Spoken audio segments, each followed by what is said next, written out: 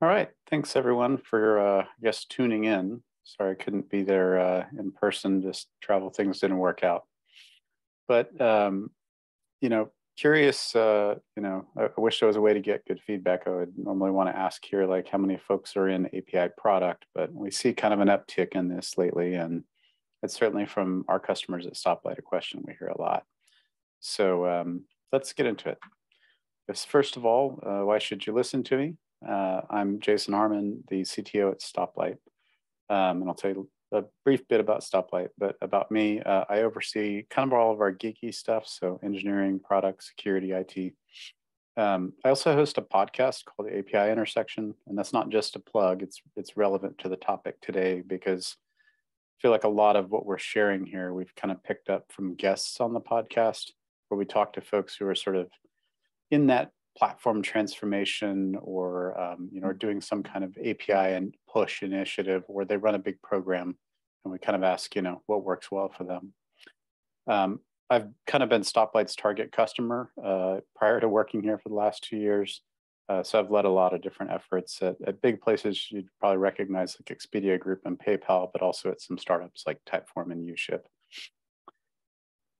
So uh, Stoplight, uh, this is the other thing that I think lends credibility is our, our customers do this kind of stuff, right? We're a collaborative API design platform. Uh, so we basically help our customers kind of get their API programs to an effective place, starting from the whiteboard. That is to say, from the time that it's uh, you're taking an idea and turning it into a design uh, and getting it into a place where it makes sense to go develop, which is also to say that we take this kind of API first slash uh, design first approach.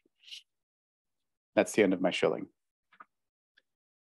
So um, it's almost funny, I think, in 2022 to say, you know, what is the business value of APIs, uh, at least from my perspective. But I do find that in a lot of organizations, it's still very much a discussion when it comes to making the investment on the roadmap. And uh, I find that in a lot of places, we get hung up on a lot of other things and skip this essential first step is what's the business value of uh, you know going and building some APIs. So the good news is uh, there's there's data out there for this now. Um, you know we've been doing this long enough as kind of a, a space that um, some smart folks um, have gone and done studies and actually pulled like comparatives over as long as a 16 year period, essentially since there have been companies focused on building APIs as products. You know, we look to like the Twilios of the world, right? And uh, there is a distinct competitive advantage to the tune of 12.7% more growth on a 16 year timeline. So, you know, right out of the gate, you've got justifying data and kind of reporting out there on, you know, properly conducted studies, which for a long time we didn't have. So sort of, but look at them, they're doing good, right? Uh, and now I think we've got a broader picture of the impact this makes. Um, I think it's important, first off, um, a lot of times you'll hear folks kind of go, you know, um, we need to build APIs because that's what I read in some business journal. Right? You'll, you'll get an exec push on things like that. Or, you know, your engineering teams are going like, this is just obvious. Why aren't we doing this? This is crazy. Um, and I think it's first important to break down that, you know, platform is kind of what everyone's going for. And it's important to recognize that that tends to mean at least two different things. Uh, but I think at a high level, there's kind of two schools of thought that don't always clearly intersect. Um, the first is kind of this MIT school of thought, the, the idea of building a composable business. And this, this term is starting to really resonate among business leaders. And it's, you know, what we think of as kind of a modular system right? That you have these reusable components that plug in together, they play well. Um, and I think implicit with that is kind of these inverse Conway maneuver kind of things of, you know, let's uh, build things in customer language, not system centric, but we'll touch on that more. The second piece, and I think sometimes people get confused on which thing they're doing, um, is that you're building a marketplace, right? That is a form of, of platform design. Um, but the way in which you would look at how you do that or why you do that can be pretty different. Um, and that is that you're focused more on how to build kind of this ratchet back and forth of supply and demand to build, a, you know, a could be two-sided or multi-sided marketplace where you've got folks kind of bringing the supply for others to consume. Um, it's worth noting though that quite often both are true in that you're building a composable architecture but it needs to be built in the shape of a marketplace. Um, but how you might approach those in terms of their priority might be different. So there's an optimal way to build the system in a composable way. And there's an optimal way in which you would want to build a marketplace. Making sure that those things match up, you know, uh, don't don't let that be uh, lost on you. Um, the other side of, of kind of marketplace dynamics, and it's I think it's true in general, but it's especially important in marketplaces, is um, that network effects are a big thing, and hopefully the positive ones, right? Um, that is to say that um, you know direct monetization is not always easy to to sort of identify, and sometimes you're working on you know this sort of notion of come for the value, stay for the network. That quantifying that network effect and using that as a proxy for what should lead to growth and building confidence in those proxies uh, is, often the right way to look at things. So I think we're primarily going to talk um, about kind of this more composable business thing here, um, but probably touch on marketplace stuff. And I just wanted to call that out. So fair enough, APIs are important. Right? I think uh, pretty clear these days. Uh, and if it's not an important discussion in your company, hopefully that gives you a little bit of fuel to get the discussion going. So, you know, if we're going to do this as a product, that's the point of this talk. Uh, how do we treat them? And uh, I think, you know, my starting point is it's just another product. Like, uh, I think people get kind of wrapped around the axle on these things sometimes and, um, you know, try to think this is a whole new world. It's technical. And so we've got to do everything different. Um, but, you know, let's kind of get into what that means. So there's a couple of things that we'll touch on here. Uh, the first is kind of understanding the business relationships that APIs might open up that you might not have had before. Uh, the second, and this is kind of going back to where we started, is making sure that you have the right business buy-in and how to think about framing that. And then, uh, you know, we'll spend most of the time on those. And then the last one is just sort of a, an obvious freebie to me and uh, something that I've been passionate about for a long time is how to think about kind of testing, but from the product manager's perspective and why it's so valuable for you in API uh, development. So this first one, recognizing relationships. Um, I think for anyone that's gone down the road of, hey, let's go build an API, open it up, uh, you find out very quickly that the business of integration is kind of toe to toe and messy, right? You're often working on very intimate terms with some other team's developers. You know, sometimes it's developer to developer, team to team on how do we get this thing working.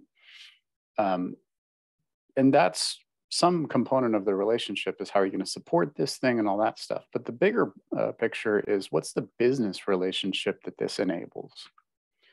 So I like to start with, you know, who are the constituents involved here? What kind of relationships are we, we fostering with these connections to our platform? And it's essential that you're thinking of uh, your operating, I think discussing, you know, everything you do in a customer centric way.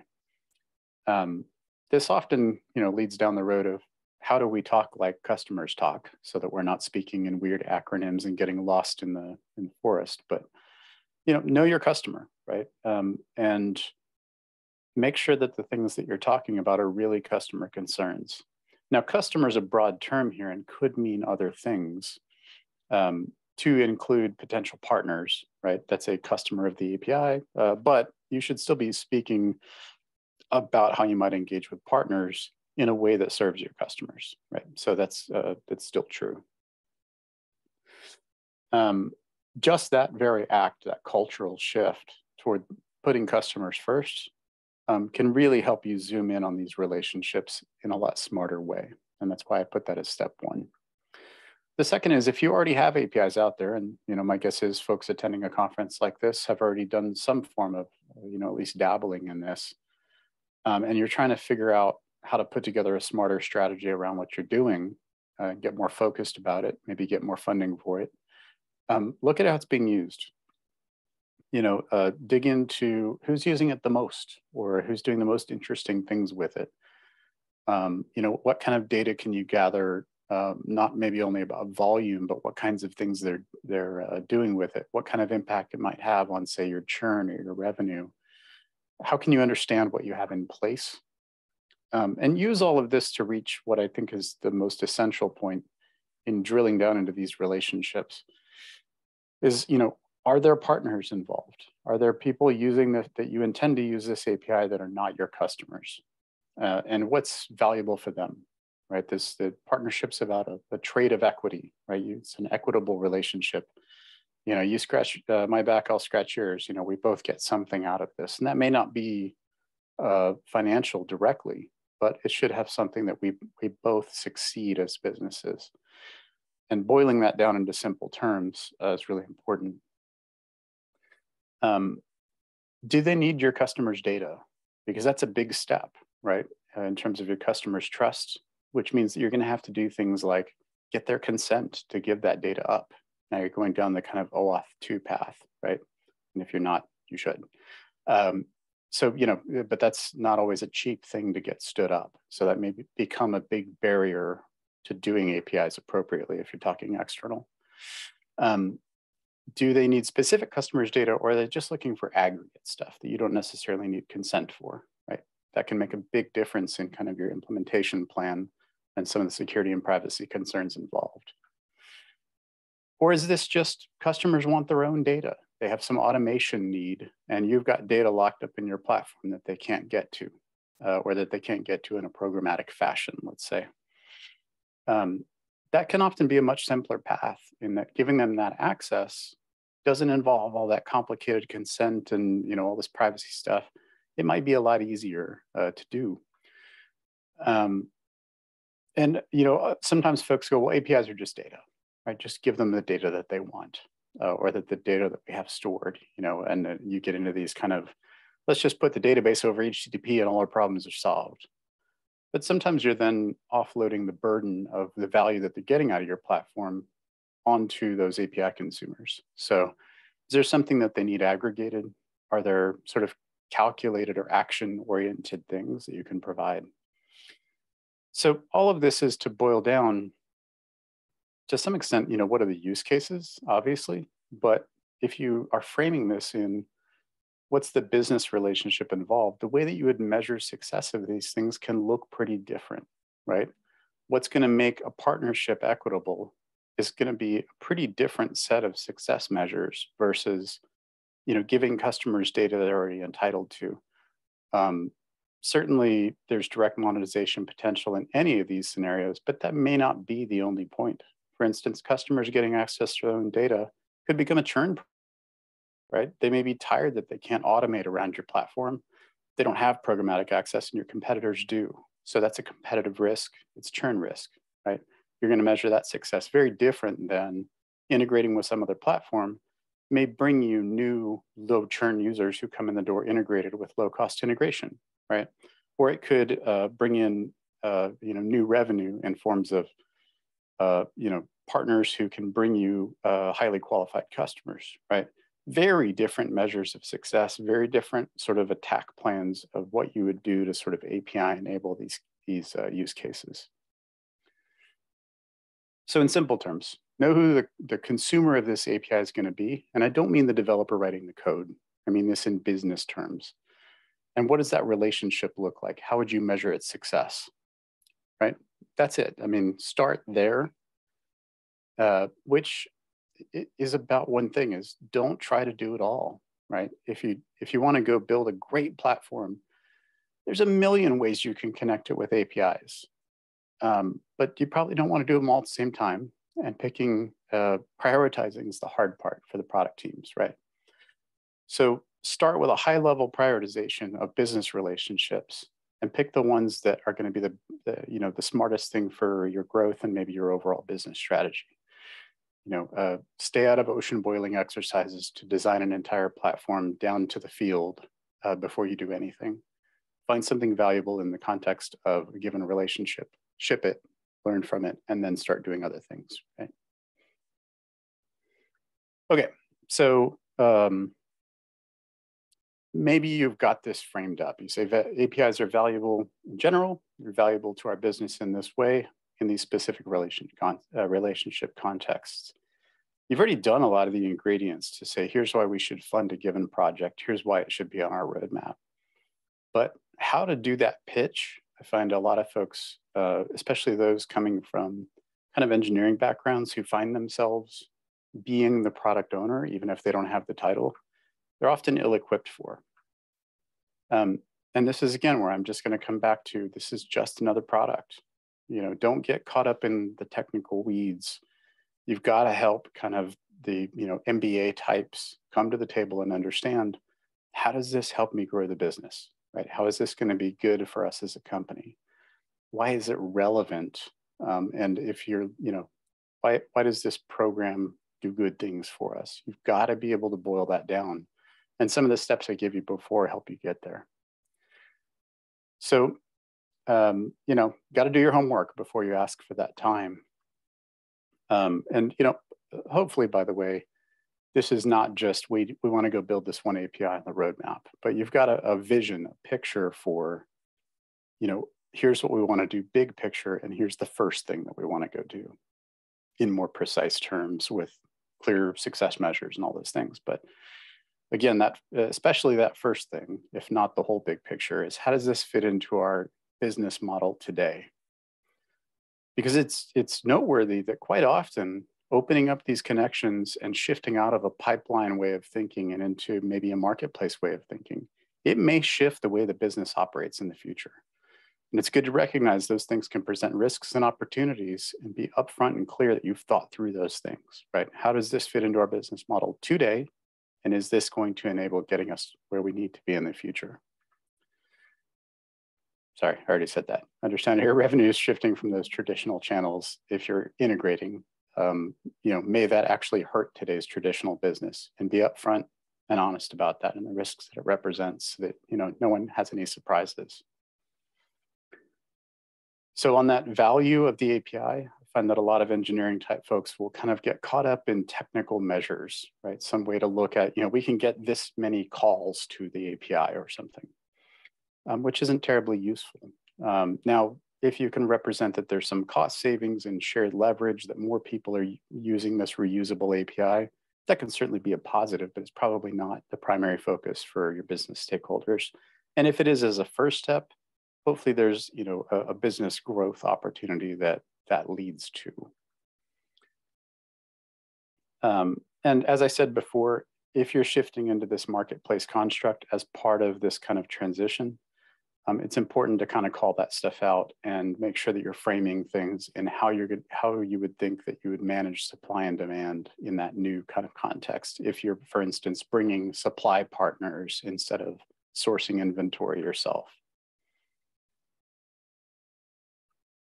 so uh, boiling that all down, you know, when you go down the long and hard road of building a platform with APIs, um, it it takes some time. You know, sometimes you got to slow down to speed up, and it can get expensive.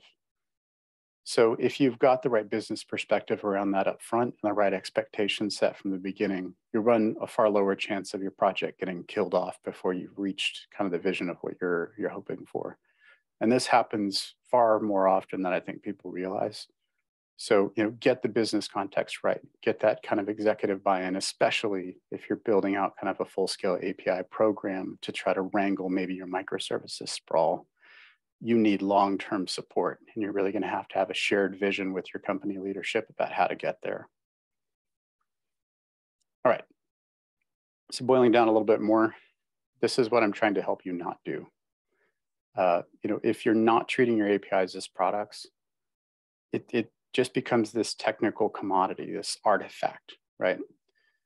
In, in the user experience world, you, you would never say, just go build the thing uh, and then, you know, uh, it'll do the job, right? That would be nuts. We, have, we want to have a designed experience. And the same is true with APIs. You know, um, you've got to look at this as you know, kind of who's the end user and design an end user experience. And none of that will be right if you're not customer centric in your approach, if you don't understand the relationships involved. If you're building in a system centric way with this very internal, you know, inside our four walls view, you're going to have a engineered experience and it's not going to be very good and you're going to struggle to attract developers to your program. This is true whether we're talking internal or external. You know, these are internal products, treat them as such. All right, and then the easy gimme at the end. Uh, this one won't take long. Um, And, uh, you know, it's been, I don't know, 10, 10 years or so since I've been doing these kind of public speaking things around APIs. And this is actually the first subject I ever spoke on. And it's still dead true. Uh, and that is, if you're a product manager and you manage APIs, you really have very little excuse for releasing significant defects. And you have almost no excuse to ever reproduce those defects or, or re-release them again. Um, your requirements in a best case scenario should be written in a way that is actually automatable as testing scenarios. Um, you know, I've historically always liked kind of BDD, cucumber type approaches. I think there's a lot of different ways to do this now. Um, but, you know, you can't afford to have a low quality API, right? Developers who get stuck trying to integrate with you are costly on both sides of any relationship. Uh, and, you know, it's just it's too valuable of relationships in almost any case that, that you want to have a bad experience drive them away. And the other component is that, you know, uh, you know, lots of product managers deal with brittle testing where, you know, uh, user experiences are really hard to keep consistent and high quality. But with APIs, it is a programmatic interface. So it is inherently testable. Uh, and if you're not, if as a product manager, you are not engaged with maybe it's your QA folks, or if you don't have QA, uh, the folks who are really, you know, uh, or let's say that your your story is your backlog. If you're not engaging in that testing process, and again, I'm talking about acceptance criteria, kind of acceptance testing, not low-level unit testing. It's can I write in plain English, some form or fashion that's recognizable, readable if I'm not technical as a product manager, what this thing is meant to do. Start the sprint with it in red and finish it finish with it in green. That is to say, have formal sign off. There's no reason that because it's a technical component that you can't have clear sign off, right? Uh, so really lean into the testing piece and drive for automated acceptance criteria um, so that you catch, uh, you make sure you've built the right thing that does the right job in customer language. And that if you have problems in the future, uh, you know, something slips through that uh, you can ensure that it's been fixed and never happens again. So uh, started with my little plug for the uh, podcast, and I'll make yet another one, uh, just in the sense that a lot of what is shared here is really just synthesized from uh, the folks that we talked to on API intersection.